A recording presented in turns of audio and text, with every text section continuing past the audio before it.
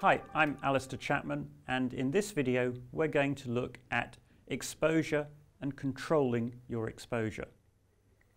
Now what is exposure? Well exposure is getting that balance in your pictures between them being too dark and too bright. You don't want your pictures so bright that everything looks very washed out and very pale, as in this example. And you don't want your pictures so dark that you can't see what's going on, as in this example.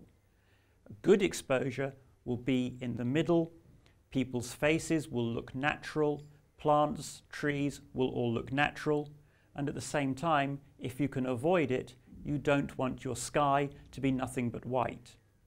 Now it can sometimes be very difficult to get that perfect balance. Cameras have a limited dynamic range. So normally when you're shooting, you'll be favouring faces, plants, the foreground of your picture and making those look natural. And it may be that you have to put up with a little bit of the sky being overexposed. That isn't unusual with video and that is expected. One thing to be aware of, if you are doing post-production work on your material, so if you're going to film in the camera and then take that footage to the edit suite or the studio so you can manipulate it later, you will probably want to have your exposure a little bit lower because if things are overexposed, if they are too bright, it's very difficult to correct that in an edit suite. If things are a little bit dark, they can be brightened a little bit in the edit suite. So if you are unsure, it's better to be a little bit dark rather than being a little bit bright. So how do we control our exposure? Well, there are three things that affect our exposure.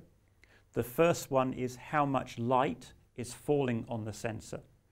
The second is how long do we allow the light to fall on the sensor, controlled by the shutter speed. And the last one is how sensitive we make the sensor. If we make the sensor more sensitive, the picture becomes brighter. Let's look at those in more detail. The first is controlling how much light falls on the sensor, and that's controlled by the iris or aperture and the ND filters. The iris is like a window on the lens that opens and closes and lets different amounts of light in. A small aperture will have a big number like f11, f16 and only lets through a very small amount of light.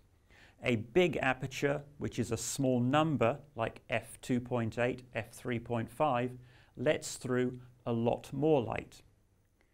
Behind the aperture in the lens, we then have ND filters. And ND filters are like sunglasses for the camera. We can switch in ND filters, and each ND filter has more attenuation. It reduces the light by more and we can keep switching in more ND filters like putting on darker and darker pairs of sunglasses on the camera, a very useful feature.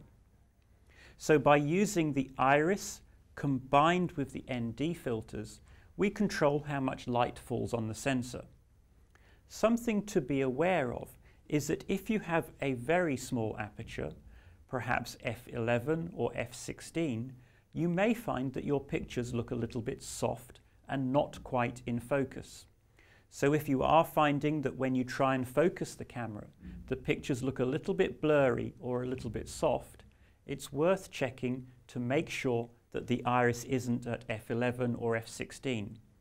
If it is, that's when you use the ND filters. You add an extra step of ND filter which will then allow you to open the iris a bit more and your pictures will become sharp again. So do be aware that f16, f11 is not good and use ND filters to make sure that the iris is more open than f11. Now the next thing that changes how much light is falling on the sensor is the shutter. We have a separate video about shutter speed, so if you want to know more about shutter speed, do take a look at that video.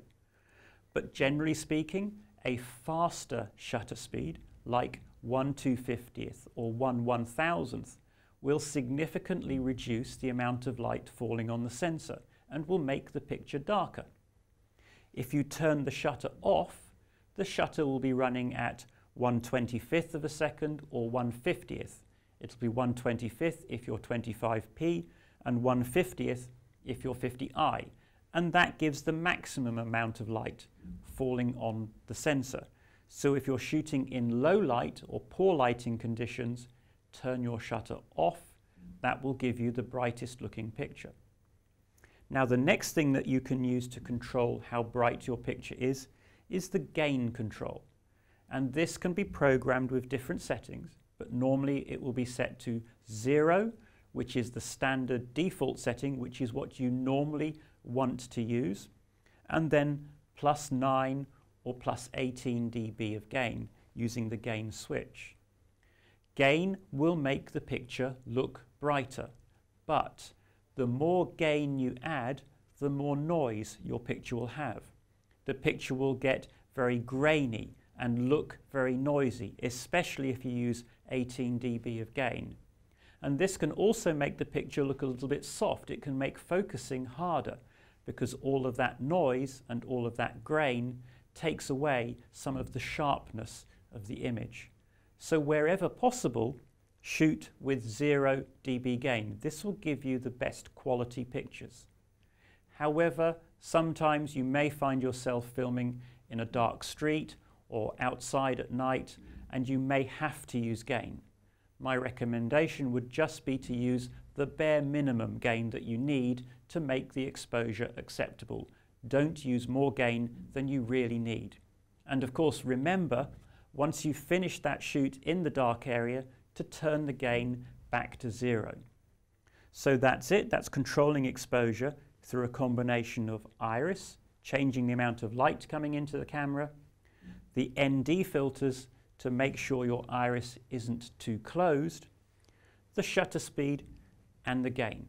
By using those settings together, you can control exactly how bright or how dark your images are.